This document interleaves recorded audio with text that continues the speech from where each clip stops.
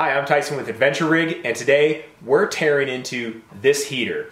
This is a Planar 44D-12. Now hopefully you're not watching this video because you're having the same issues as me. Now the reason I'm cleaning this is because there's something they don't tell you in the directions. This is an awesome heater. We were on a trip for the last four and a half weeks with it. However, unfortunately, it only worked for about 10 days.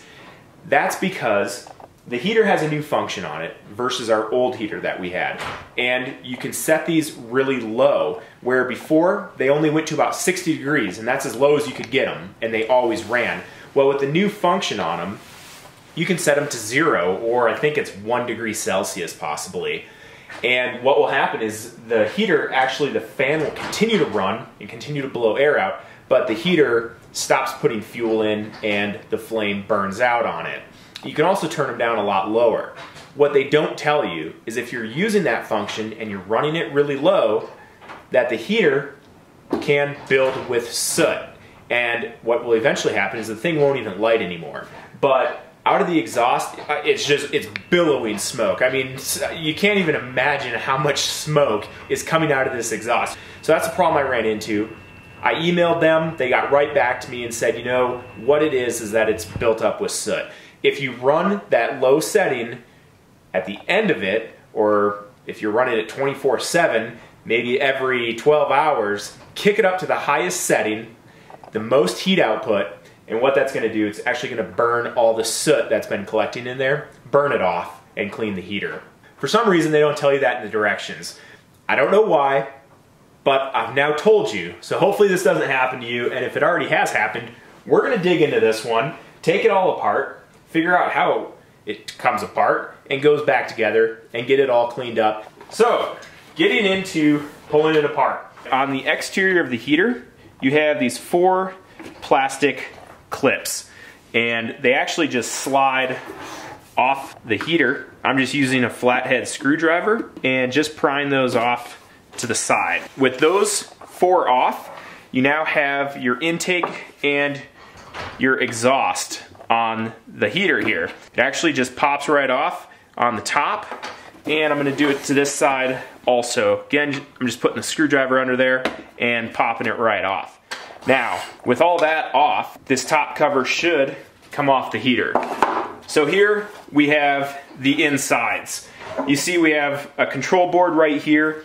On this end, this is your fan, and all it's doing is taking air from this direction pulling it through the entire heater and it's being expelled right here on your exhaust. This is where you'd have your heater duct mounted right here. Right here is the glow plug and then actually you can't really see it right here but down inside that's your fuel line coming in. So in this chamber here you have your glow plug and your fuel coming together and I think this is my problem area right here. This is the burning chamber. So basically what's gonna happen is there's gonna be a flame that is ignited and it's just gonna be burning inside of this chamber. This chamber is what gets extremely hot and produces all of the heat that comes out of this heater. You can see that all of these fins are gonna get hot and all this air is gonna push through all these fins, taking that hot air off of them and expelling it as your heated air into your camper or your trailer or whatever you're mounting it into. So I'm gonna take the plastic and my mount off of the bottom so that I can really get to the inside of this thing.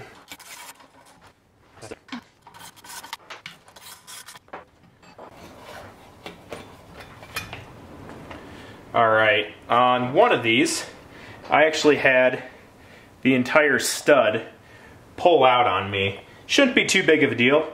It's nothing stripped or anything, it's just that the stud came out instead of the nut. I'll have to put that back together. Alright, into the guts of this thing.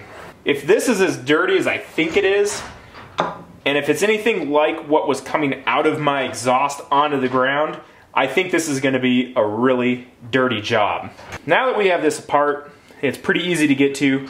We have actually some Torx screws that hold these two halves together. Looks like there's one, two, three, four, and five all together. You can already see you can see this crap that's coming out of here. I better put some gloves on because I think it's about to get dirty. So these are a T25. Let's see if we can get them out. Doesn't seem like they're too tight. I'm working on the last one right now. Right when I broke it loose, I could see these two halves already wanting to split apart. So I don't think it's gonna be too terribly difficult to get them apart. You wanna be careful. Obviously, you don't want to rip any wires out. And you have wires on the top here. These look like they're probably, my guess is the heat sensor on it. And I'm just gonna mark, I doubt that it matters where these go back together, but if it does, I'm just putting a mark on one of the wires so that I put them back into the right spot. So I just pulled these two wires off. Again, just marking one of them, just so that I can personally put them back in the right spot so I don't mix anything up. And I'm just gonna feed them through like so. All right, this guy is definitely wanting to come apart. This white wire that's running right through here into my exhaust. I'm guessing that's a temperature sensor for the exhaust. So it looks like these two wires that I have, they're just held in with two set screws. So I'm just gonna loosen those and pull them out. This way, I can feed the wire under, and now I believe I should be able to pull these two halves apart like so. I don't think that's what it's supposed to look like. You can see this piece here was inserted into this piece. Now there are grooves on the inside of this piece. So you can see inside of here, I have quite a lot of soot that has formed. Now my heater was still firing sometimes. Sometimes it wouldn't fire, other times it would, but the problem was is that this exterior here was not getting hot. I wasn't putting out much heat and it was blowing out a lot of smoke, but it just wasn't getting hot. And the reason is because I couldn't really burn much of a flame in there with that much soot. And it wasn't, all that soot's not allowing any of this to heat up. So there's just a lot of issues going on inside this heater between that piece and this piece. There should be a flame that's burning inside of there. This needs a lot of attention right now. But really, it wasn't very difficult to get into. The most difficult part for me was just getting it back out of my floor. So I think I'm just gonna take a wire brush and clean. I mean, this stuff comes off pretty easily. There's just a lot of it.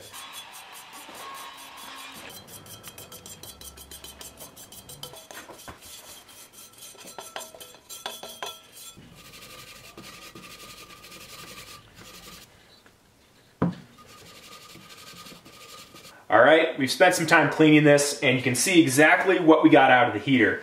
This would be why I wasn't getting any heat and why this guy was smoking as bad as it was.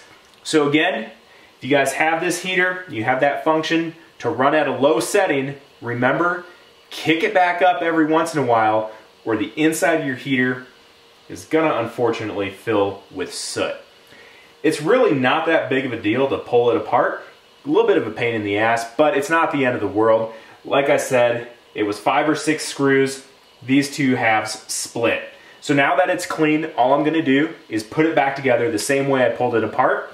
Just gonna put those screws back in, make sure that you hook up any wires that you had previously disconnected, and then I'm gonna throw mine right back into the floor where I had it mounted. Hopefully I won't ever have to do this again. I'm gonna start kicking my heat up every 12 hours if I'm running it at that low setting, just to hopefully burn all this off. We're going out to Moab. I think the nights are gonna be cold. No, we'll see how it works. Check back, ask questions in the comments if you have any, and we'll get back to you. Again, this heater is made by Planar. It's the 44D-12. If you're ever wondering where we're at or what we're up to, make sure to follow us on Instagram and on Facebook at Adventure Rig, and subscribe to us if you're liking these videos here. Hopefully you're finding them useful. Maybe you watched this before you had this problem. That would be awesome, because if it's after the problem, it's gonna be a little bit time consuming, but not the end of the world. Really, it's pretty basic. Thanks for watching. I'm Tyson with Adventure Rig.